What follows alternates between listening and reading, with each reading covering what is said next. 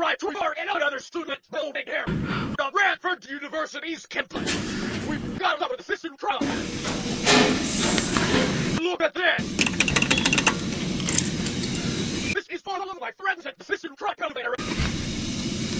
Obviously, the System Truck has to conflict here. B. This one looks smaller. But we'll find out. This is an afterthought. You can't tell this was Dungeons. Talk so well. This is be interesting. B.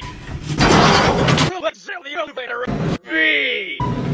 B. That is the way not talk. Let's interesting elevator. Oh yeah. And there it goes.